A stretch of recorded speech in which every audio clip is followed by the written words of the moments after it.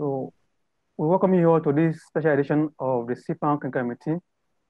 We want to start the meeting by committing the meeting to the hand of God with uh, individual silent prayer for about one minute. Can we pray individually for about one minute, please?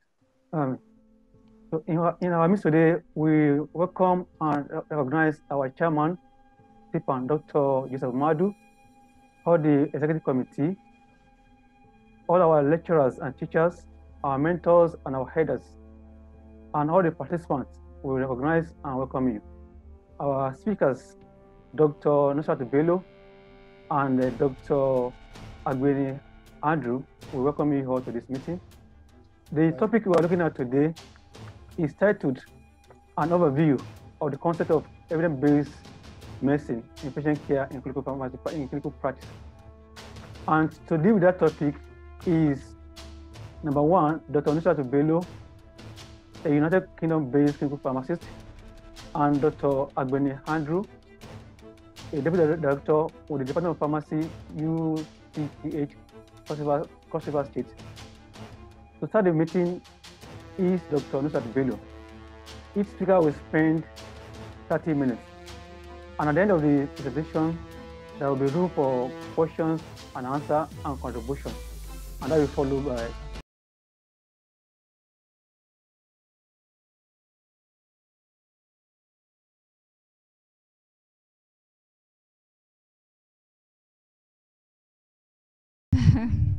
Thank you very much for taking your time to be here this night.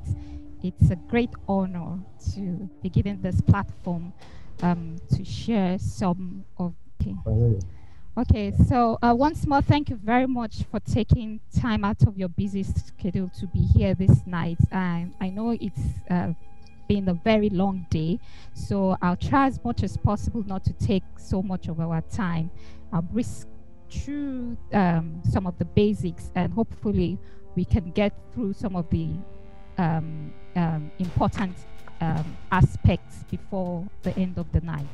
Um, so let me use this opportunity to appreciate um, the professors and our elders amongst us this night. so the topic like the moderator has said, is an overview of the concept of evidence based medicine in patient care in clinical practice.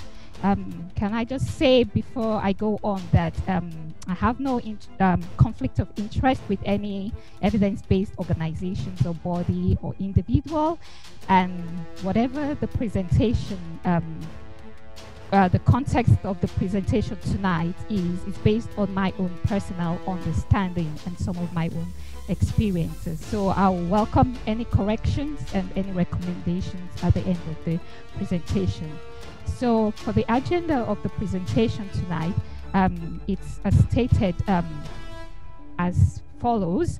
Um, so the abbreviation, some of the common abbreviations will uh, be included at the beginning of the slides.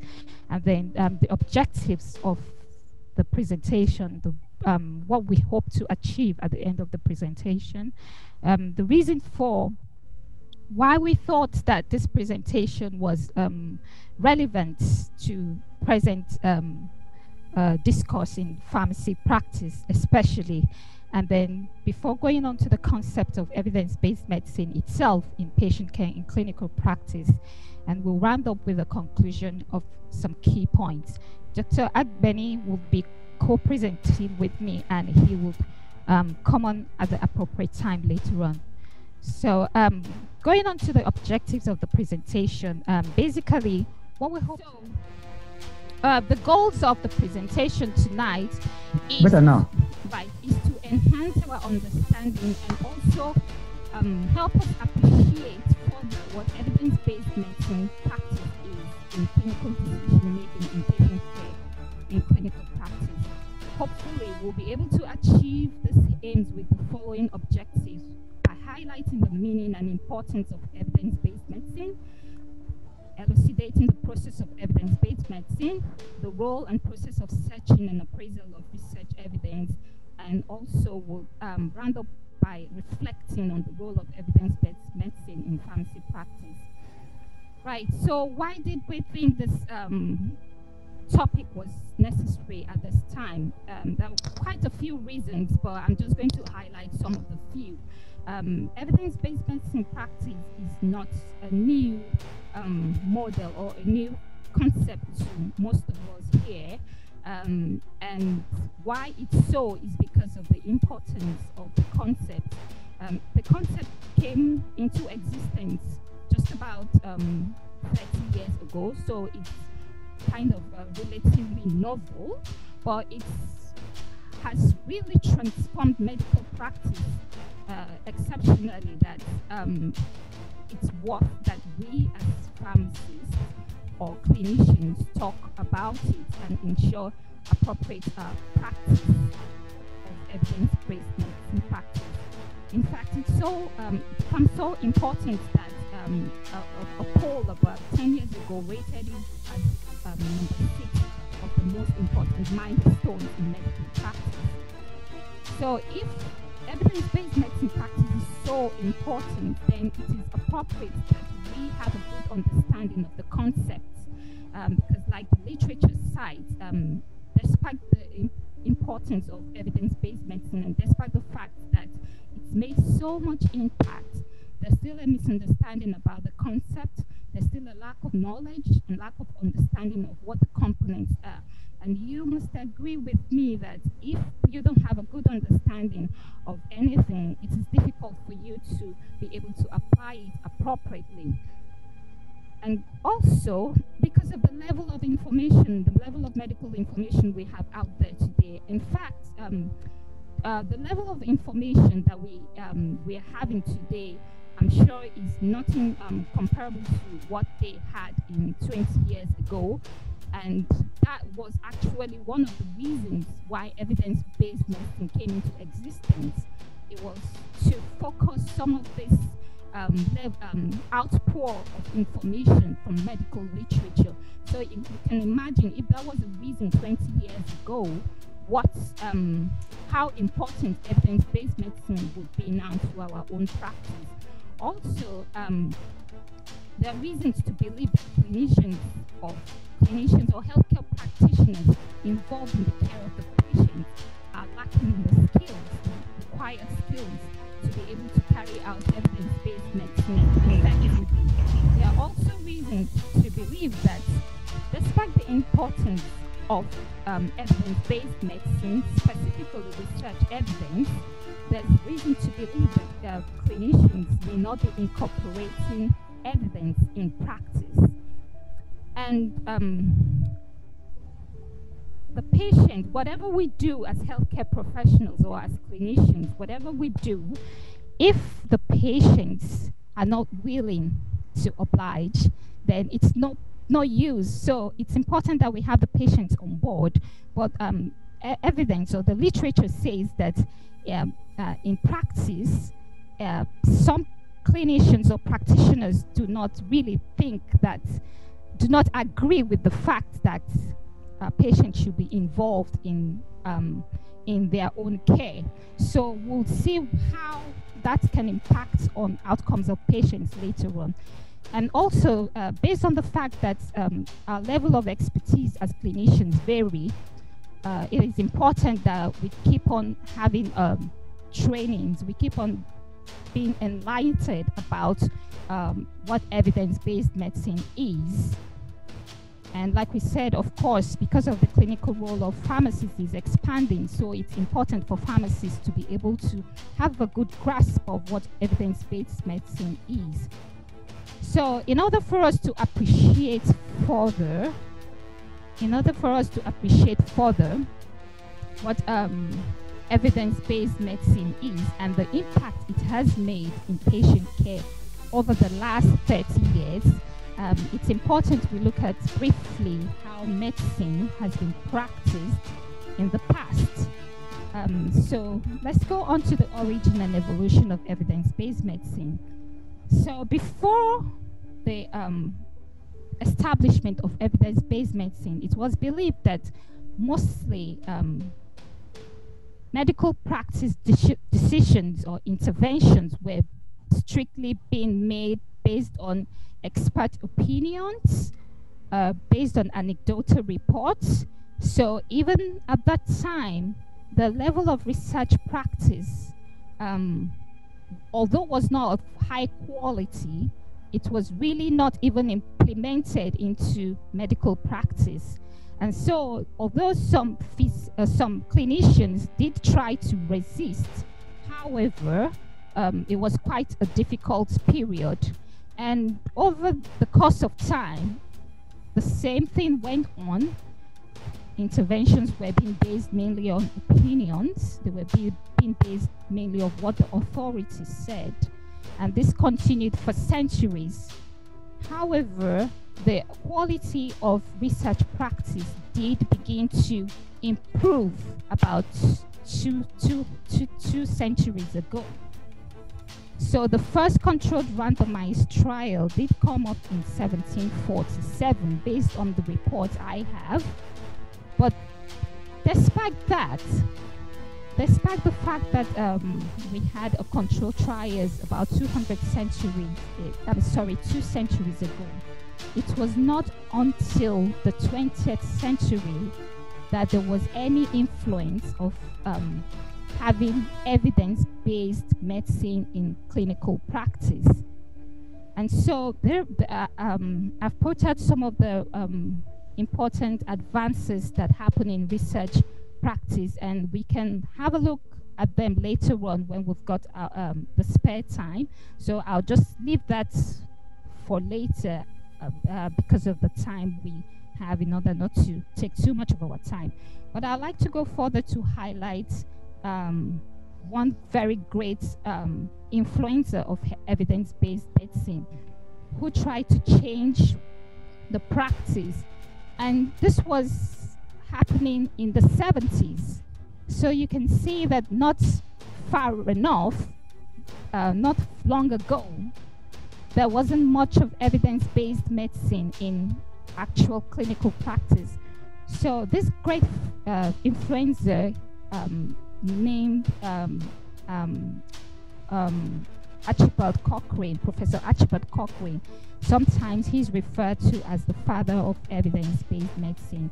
So in 1972, he released a book, a, pub, uh, a publication, which strongly criticized how um, medical practice was being carried out at that time. In fact, he was able to identify that patients who were treated based on evidence had better outcomes than patients who were based, uh, treated based on expert opinion or without any evidence. So he had a, uh, um, he put out a great resistance about how evidence was being used in medical practice, and he insisted on the use of randomized control trials, especially to inform our decision making in clinical practice. However, this did not make any significant uh, change. Another person who tried to influence medical practice is David Eddy. He is not as popular as uh, Archibald Cochrane, but he also tried and he observed that um, a lot of practices were being carried out without adequate evidences. So I'll just um, leave us to go through those extra information if we're of interest, um, if it's of any interest to us late, later on. But I'll go on to who actually made the significant change, the, the important change of what we now recognize as evidence-based medicine today. He is uh, David Sackett, along with his two other colleagues, are now considered as fathers of evidence-based medicine. And this movement to bring evidence-based medicine into practice actually started in 1981. But it was in 1992 that the name evidence-based medicine came up.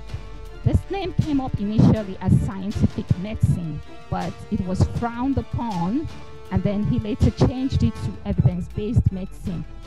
And um, the reason why this movement started was also based on the lack of evidence in medical practice that was um, identified by these three um, clinical epidemiologists.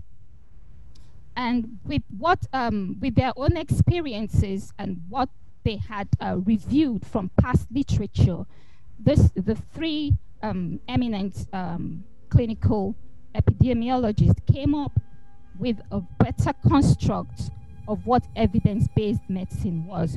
So what happened at this period was that although the idea of evidence-based medicine had been long existing in the past, but there was nothing concrete until these three eminent professors were able to bring something together in the 80s. So that is why evidence-based medicine has been considered as something very um, relatively new in medical practice. And so the three professors brought together this concept of evidence-based medicine, but then again, when the title or the concept was named, there was no practical, um, there was no practical suggestion or recommendation of how to go about it. It was still quite vague. And so they came up with um, an initial meaning of evidence-based medicine, which is what is quite popular, still popular today. So they defined evidence-based medicine as the consensus and ex um, consensus, explicit, and judicious use of current-based evidence in making decisions about the care of individual patients. However, this meaning did lack a bit of practicality, and so they later came up with another more practical meaning of evidence-based medicine, which is the second or along the first one are both the most popular meaning of evidence-based medicine today. So the second meaning of evidence-based medicine, which is very practical and which is used widely today, is the integration of best research evidence with clinical practice and patient values. And this has been referred to as the evidence-based medicine triad. So that is how the name evidence-based medicine and the meaning of evidence-based medicine was formed and what's as as it is existing today. So evidence-based medicine is now recognized as the integration of best research evidence with clinical expertise and patient values. So those three components make up the key aspect of evidence-based medicine today. And the three components, when put together appropriately, it is expected that this would optimize clinical decision making in our practices. And if clinical decisions are optimized, it is um, expected that patient outcomes would be optimum. And so, with that happening, um, evidence-based medicine began to gain its popularity and having its own influence on how decisions were made in clinical practice. And so, um, along the line, the, of course, like every other thing, there are critics, there are people who still didn't believe in the concept, and there has been a lot of arguments. And because the founders of evidence-based medicine also defined evidence-based medicine as the three-legged stool, they used an analogy that evidence-based medicine is a three-legged stool whereby you have the clinical expertise, you have the patient's value, and the research evidence. And that without one component, the evidence, I mean, the evidence-based practice becomes unstable. However, some um, critics of evidence-based medicine argued that it, what this means is that if you don't have one component, maybe patient value, then that means you're not practicing evidence-based practice. However, that is contrary to what the founders of uh, evidence-based medicine um, um, evidence-based medicine practice uh, recommended. So you, you, you, you should have uh, clinical expertise, you should have patient value, and you should consider best evidence uh, research when you're practicing evidence-based medicine. But the probability that you have an equal contribution from each component is very unlikely.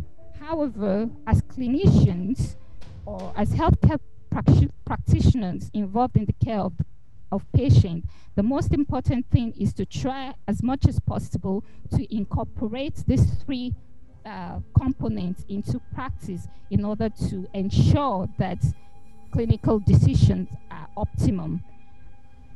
And so, with evidence-based medicine being um, being um, being um, existing and es established, other terminologies came along and has been confused along with evidence-based medicine practice today. And some of these terminologies uh, or terms as some, as some that I have highlighted on the slides today. So in order for us not to be confused about what evidence-based medicine practice is itself and what other these other terms mean, I've tried to kind of um, distinguish, distinguish between all these terms and the concept.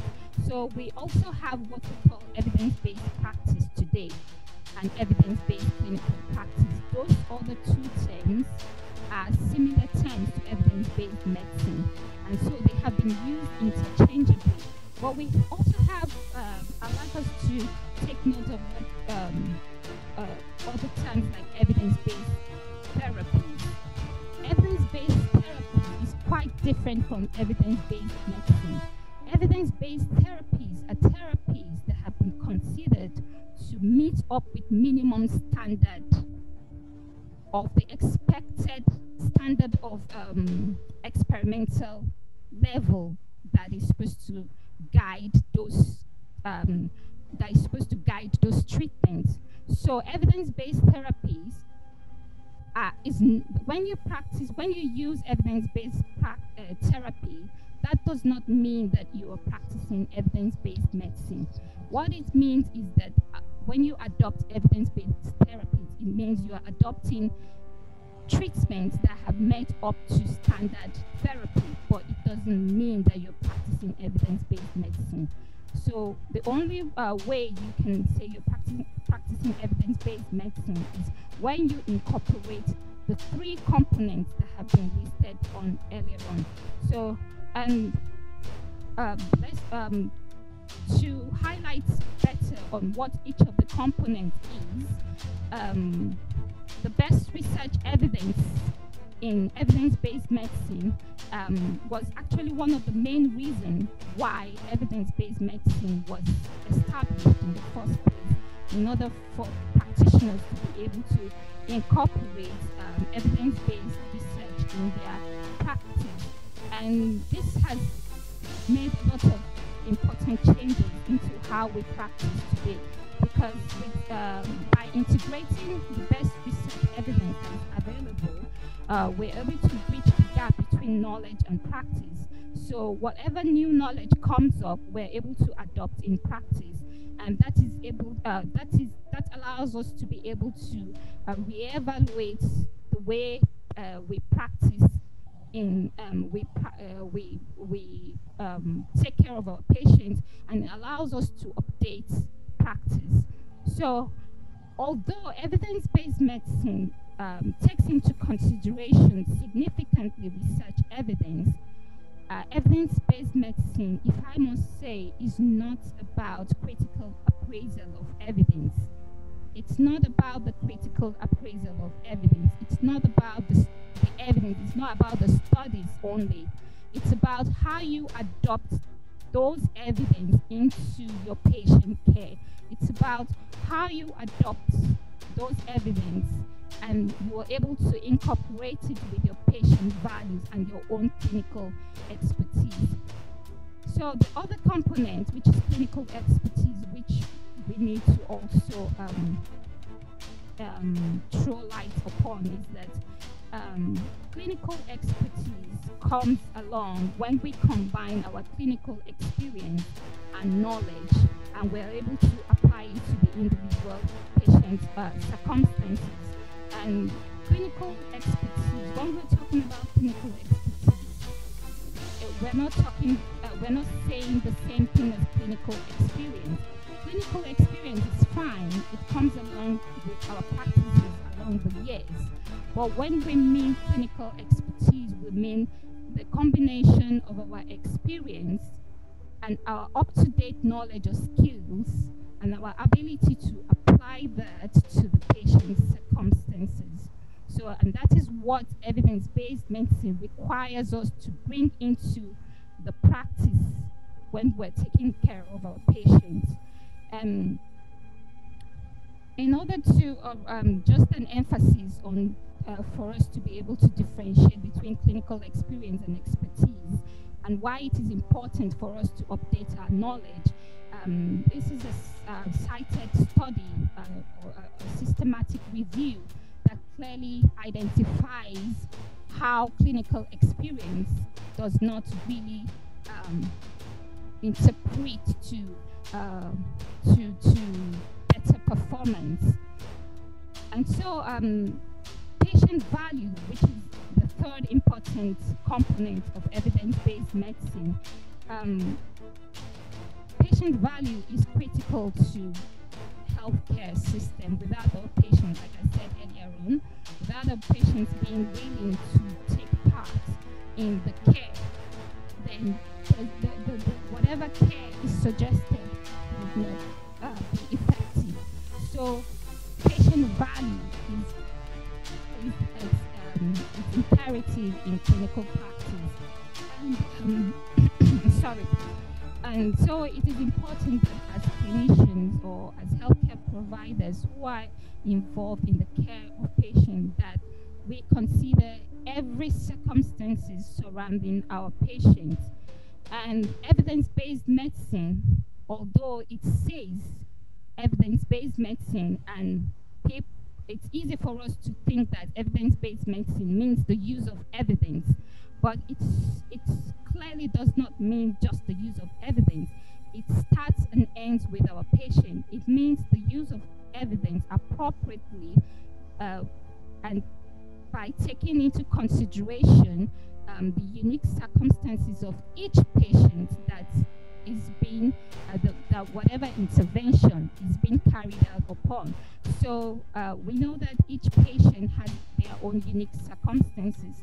Um, the expectation of a patient will be different from another expectation of the patient uh, of another patient.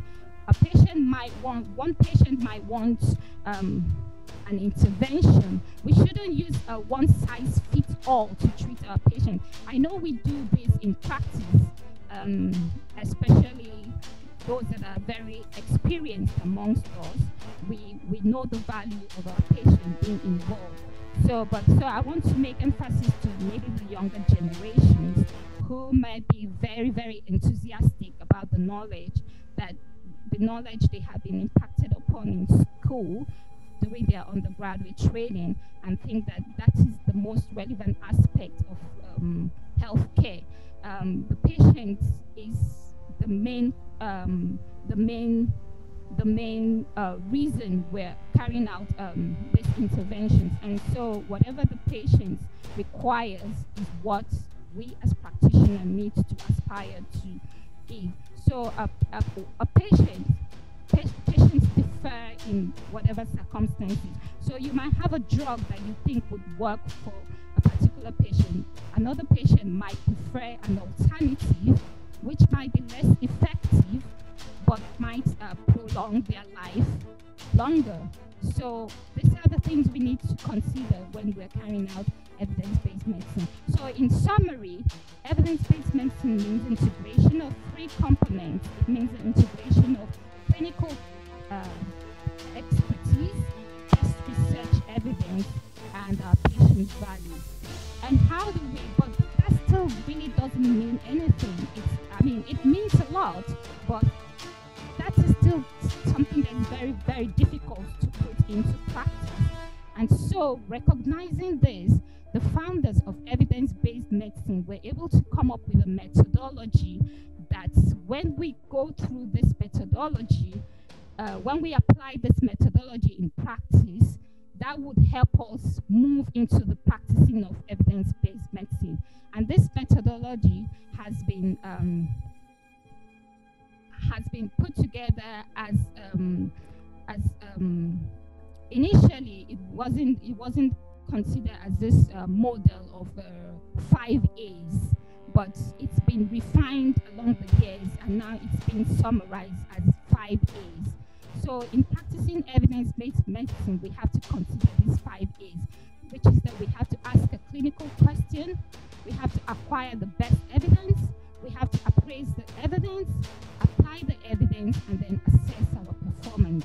If we're able to carry out all those five steps in practice, then we would really be practicing evidence-based medicine. So I don't know if you're still following me because I know I did talk a lot about the origin, the evolution. So, so, so the practicality of evidence-based medicine now starts the, at this stage, which is implementing these five A's into practice. So you have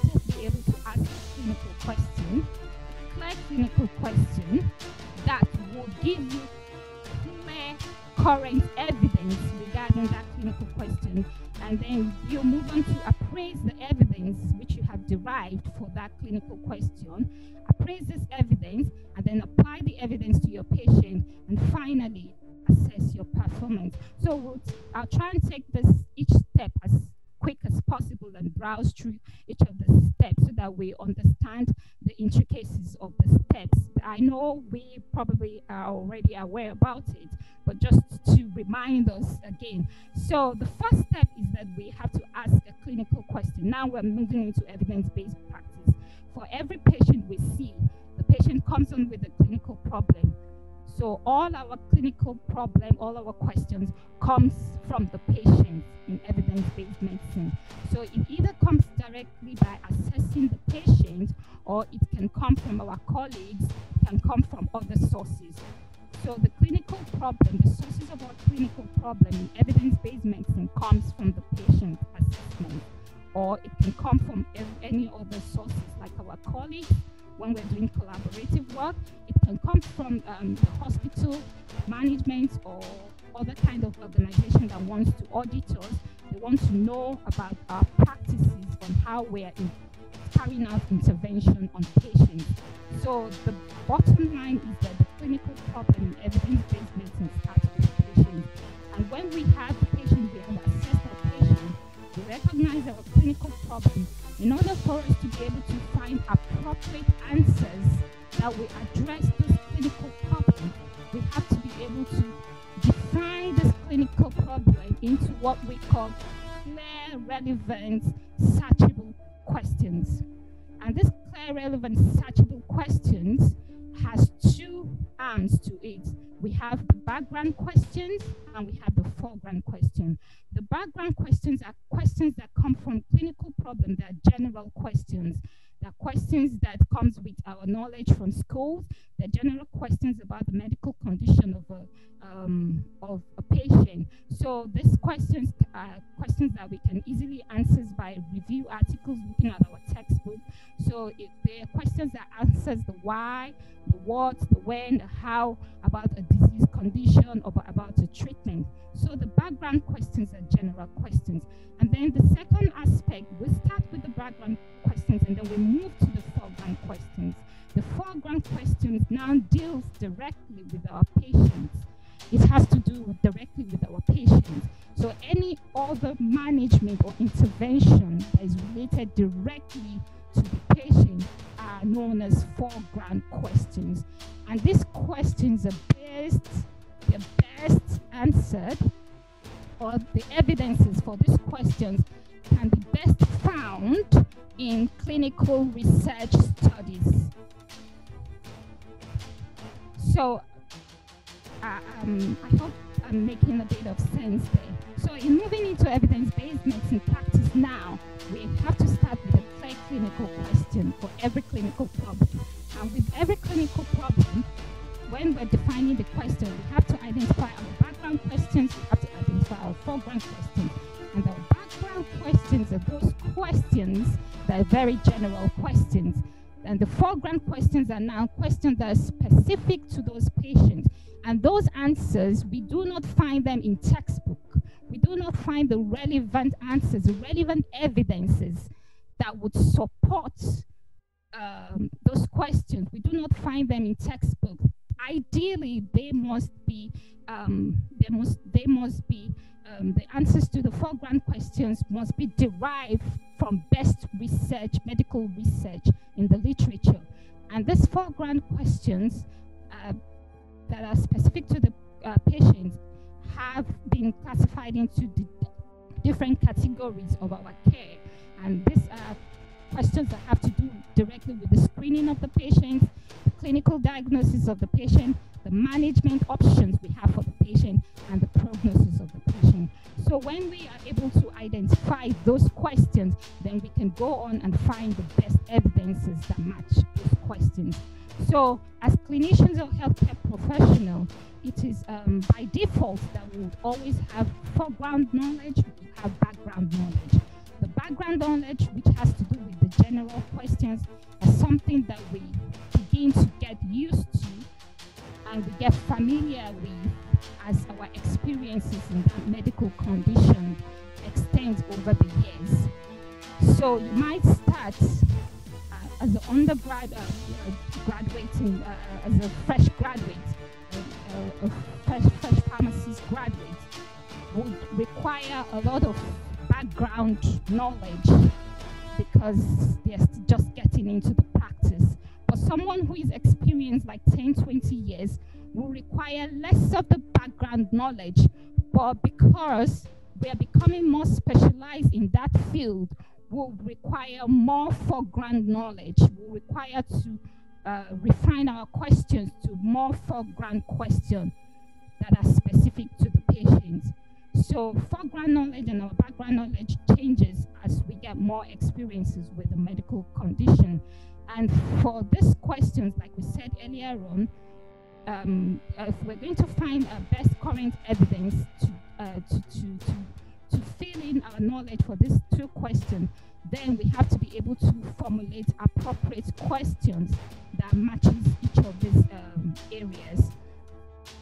And so, all right, uh, of course, in clinical practice, it is, uh, uh we have different cases scenario.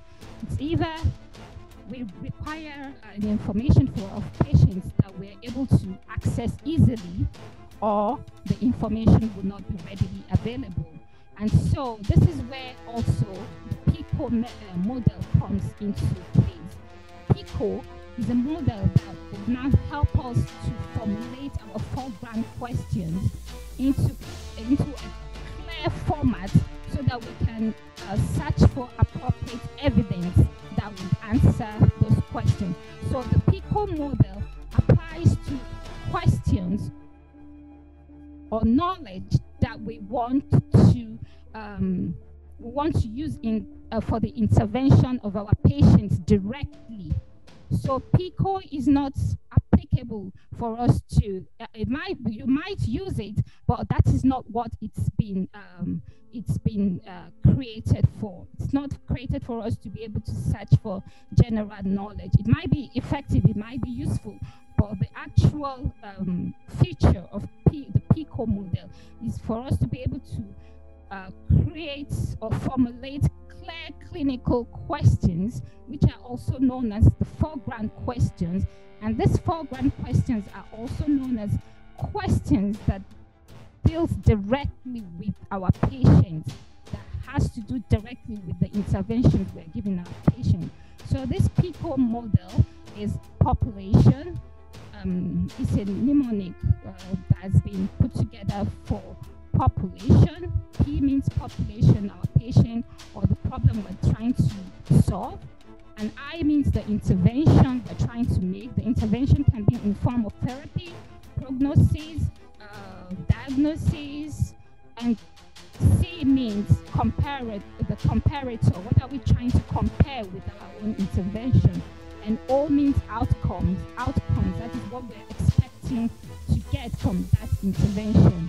And then TT, these are other extra um, factors that you would when you're actually doing the research, uh, when you're actually searching for the evidence. The first T means what type of question are we asking? Like we said earlier on, the foreground question uh, addresses specific intervention for the patient. And it could either be for screening, diagnosis, prognosis, harm, or etiology. And then the second T means the type of study you want to find, because each of these questions, there are different studies that would answer these questions appropriately. There are different kinds of studies that are best suited for each of these type of questions. So in summary, PICO means population or the patient or the problem we're trying to um, um, intervene. And the I means intervention, C is the comparator, and O is the outcome. And so we have an hypothetical case scenario. I just put up this uh, case for the purpose of this presentation. It wasn't gotten from any textbook or from any real life case study. So that is why it's been um, uh, it's been identified as an hypothetical um, case um, scenario. So I don't know if I have time to just browse through quickly this case study. So this case study is um, a case of Mrs. O, a 65-year-old who was brought in by ambulance and admitted to the medical ward about four hours ago. Her presenting complaint was recurrent headache and chest pain with a history of presenting complaint of uh, on and off headaches for for some weeks and occasionally the headaches had been relieved by uh, paracetamol but currently she wasn't getting any relief from that. The past history of this patient says that this patient has rheumatoid arthritis and the blood pressure of um, elevated blood pressure five years ago that was treated and uh, not having to take any medications further. Uh, the social history of this patient says that she's a non-smoker, no alcohol, a family history. Her father uh, was hypertensive for two decades before he passed away. Um, so the vital signs or objective values of this patient um, are as follows. Her vitals uh, have vital, her blood, blood pressure was 150 over 100 milli millimeter per per mercury. Heart rate was 70. Her body mass index 30 kilometer um, kilograms, sorry, 30 kilogram per meter square. Urea, electrolyte, and other chemistry and other review of um, body system were actually fine. Um, so this patient was placed on um, amlodipine 5 milligram, aspirin 150, uh, or, or clopidogrel by the healthcare practitioner uh, for control of blood pressure and long, uh, long-term prevention of complication and to continue previous medication on that of diclofenac, which is used for uh, uh, the patient's rheumatoid arthritis. And the working diagnosis for this patient after assessment is by, by, by the uh, physician is uh, first stage hypertension. So as a pharmacist, our goal will be to um, our own assessment of pharmaceutical care plan for this patient will be to ensure the optimum efficacy and um, minimal adverse reaction of medications to enable the patient to be able to adhere and control the patient's blood pressure in order to prevent or delay complication. And so as pharmacists, we'll go through what our um, potential and actual drug therapy problem is follow up this patient with counseling and medication reconciliation on discharge. But the focus of today is not to review this case study for drug therapy problems. The uh, focus of today is to see how we can now bring in evidence-based medicine while we're carrying out our assessment and pharmaceutical care plan for this patient. So for this hypothetical case scenario now, so going back to our five A's in applying our uh, uh, evidence-based medicine practice, the first A is asking the clinical question. So we have to now uh, the, the patient's condition has been identified as hypertension. So we have to develop our clear clinical question, which is the back, starting with the background question, and then we go forward to ask the foreground question. So what would the background questions be for this patient? The background questions will include general questions, our understanding of the general questions. So, for example, now, what is hypertension? What causes hypertension? What are the complications of hypertension? How is hypertension managed? So, those are general knowledge that we can find in books and from our experience. And then we now go on further to identify the foreground questions and then formulate our clear clinical question from this foreground question in order to be able to go on to the next step of the evidence-based medicine model, which is now acquiring the evidence in order to answer this question. So for the foreground question, we said the adequate way or the, the recommended way is to use the PICO model.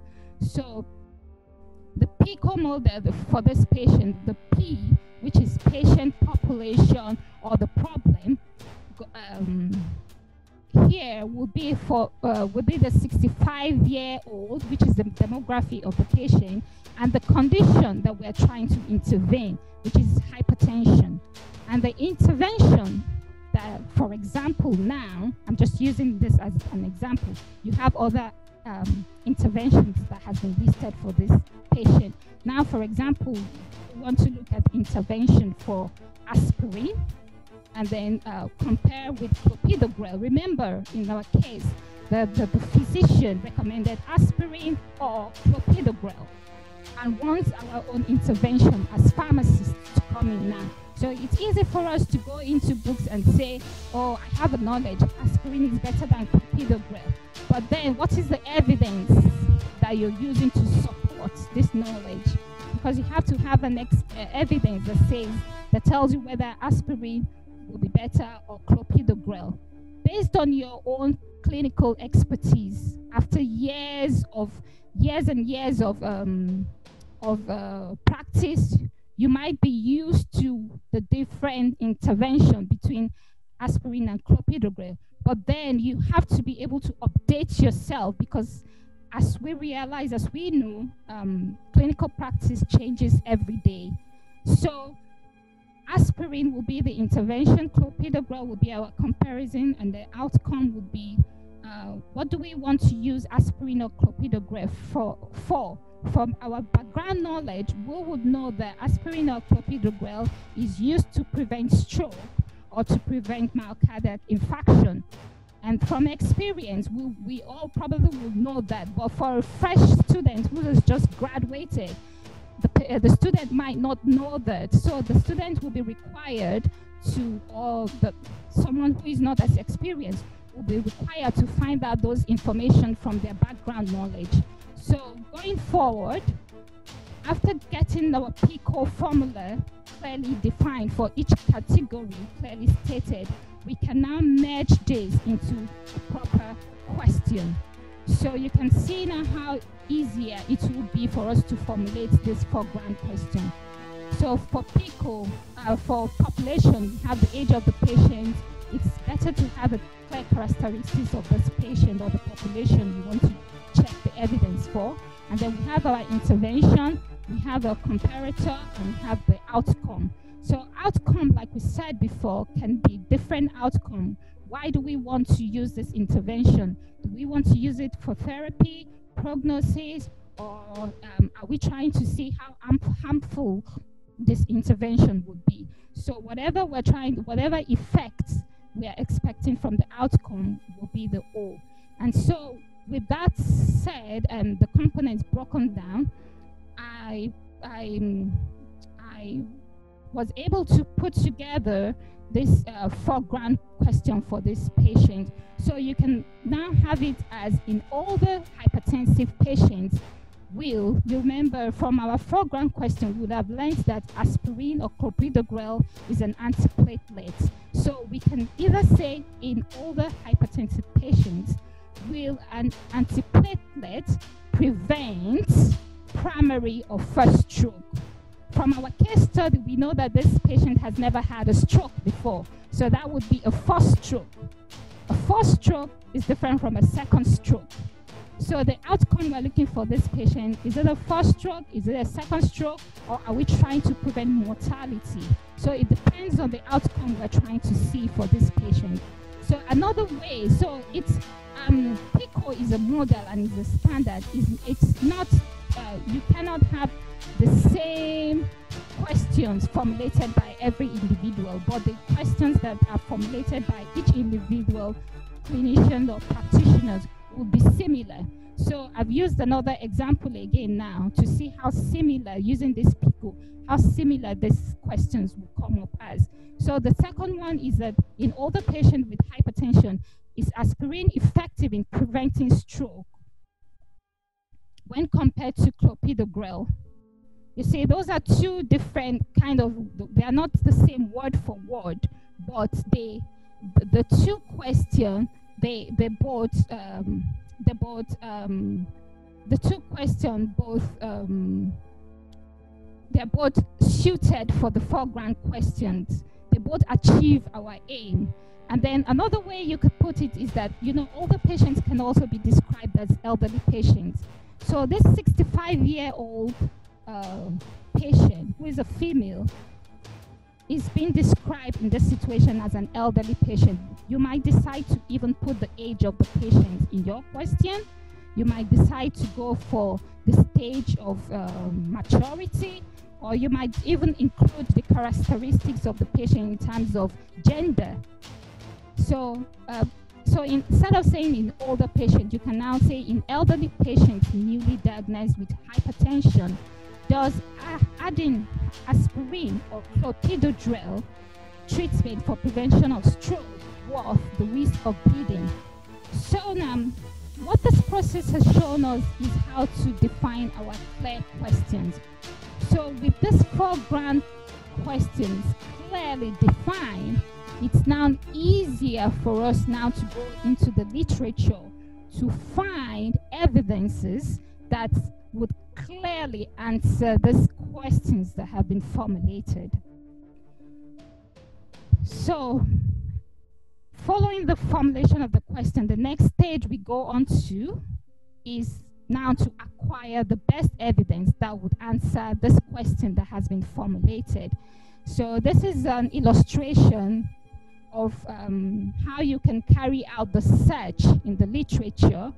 So from the first step, which is the clinical problem, and then you define your important searchable question, which is asking the question, like we said earlier on. And then the next stage is for you to select the resources where you want to identify your evidences from. And there are now different databases where you can do carry out your searches in order to identify your um, uh, evidences. With this, um, with this outline here, with this flow chart here, it will be easier for you because clinicians don't have enough time to search all the information that's out there. So with this uh, flow chart that has been presented, um, this will be easy for us to just go now go into the literature and find the adequate resource, adequate um, evidence that would answer the clinical questions that we're trying to uh, find our answers to.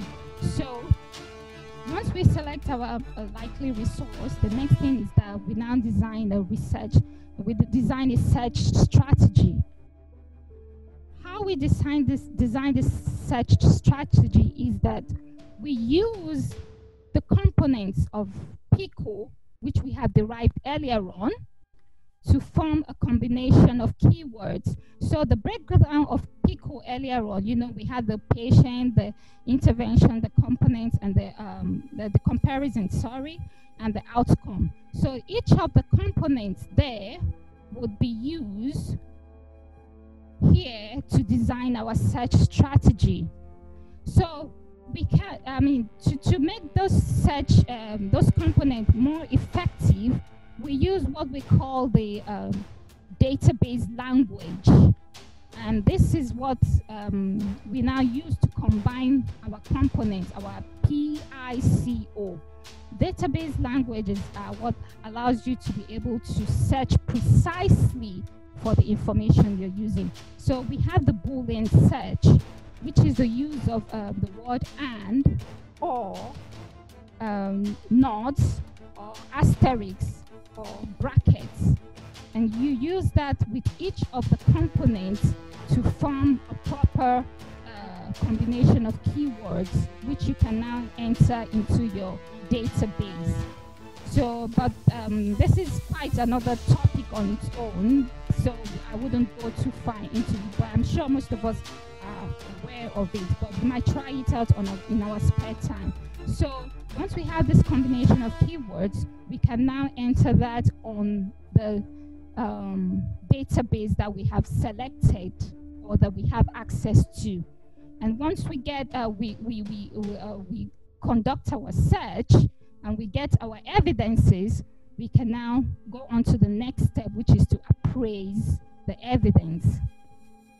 So, but like I said earlier on, in order for us to be able to get the right evidence for our clinical questions, there are some preferred type of studies that are considered for specific type of question. So for example, if you want to answer questions on therapy, treatment, you have to look at studies like double-blind randomized control trials, uh, systematic review, and for diagnosis, you have to uh, similar kind of studies. But when you look at uh, questions that uh, have to do with um, looking at whether therapy would be harmful, then cohort studies are basically the best kind of studies because with randomized control trials, it's possible that you are not able to see uh, long-term long-term side effects. So a cohort study would be more appropriate to answer questions that um, uh, that have to do with the, uh, the harm a drug can cause or the cause of uh, the causes of or risk factors of a disease. So Dr. Agbeni will be coming on later on to discuss more about the types of the studies we have in medical research and to shed more light on the characteristics of these um, studies. But before he comes in, um, um, let me just quickly highlight some of the uh, um, some of the evidence-based database that we can use for our searches. Um, there's um, some free evidence-based uh, databases that have been listed here. Um, and there's um, on on on our left side there's a table, a small table there. There's some evidence-based medicine databases that we can use um, later on. And also on the right side, it does highlight that some of these database bases were actually created after evidence-based medicine, the concept of evidence-based medicine came into existence. So it also goes to show um, the changes that has happened after evidence-based medicine uh, came into existence. Because evidence-based medicine came into existence in the 80s, and it was uh, it was uh, it was uh, it was refined better in the 90s and after it became a bit more refined some of these big databases started coming up like the PubMed, the Cochrane and um, some evidence-based medicine centers. So those are part of the impact of the concept of evidence-based medicine itself. And so for every research evidence uh, um, that we require to answer our clinical questions appropriately, this research evidences have been categorized into different levels or different uh, hierarchy. And this hierarchy of evidence kinds of represents the quality of um, the medical researches. And the higher we go in this level of evidence, the higher the quality of the evidences are supposed to be. But then the higher we go, the likely we are the likely we are uh, we are we're going to find less studies. So we might be aiming for systematic reviews, we might be aiming for RCTs, but we might not be able to find those those evidences, and we might have to do with case control or case uh, case series, which are lower. So that is the reality we have in practice. We all want systematic review, we want RCTs, but the reality is that we might not have um, enough evidence at those level. So whatever evidence we have will be what you will now be able to utilize to match um, um, your clinical um, your clinical questions. So the, the, uh, this will be covered further by Dr. Agbeni um, later, and it's the third step of carrying out evidence-based medicine practice. Uh, which is the appraisal of the evidence. So once you are able to validate whether your evidence is suitable and you're able to see that this evidence uh, um, has shown enough effect and is applicable to your patient, then you can go on and apply this um, evidence. Um, but before he comes up, can I just also say quickly that on the top of this uh, level of evidence, we have the, uh, what we call the evidence-based clinical guidelines. And evidence-based clinical guidelines erupted more after evidence-based medicine practice came into existence. Uh, a well-developed evidence-based clinical guideline ideally would be on the top of the hierarchy. And the beauty of this is that it has it does help practitioners to get access to current evidence. However, despite the fact that evidence-based clinical practices are very common, they have their limitations. And the limitations are what has been obviously stated there. They might not answer to each of our uh, patients what we want for each patient, and they can be biased biased to, to, to the organization that is uh, producing this evidence and they, they might not be as current as what we want. So even if we have access to clinical guidelines, we still have to be able to appraise the individual studies because this systematic reviews and these guidelines might not be suitable for our patients. So um, Doctor, I would like to invite Dr. Agbeni now to, uh, uh, to briefly uh, cover the hierarchy of evidence. Thank you very much. And once he's done, I'll just spend about five, ten minutes to finish the rest of the presentation. Thank you.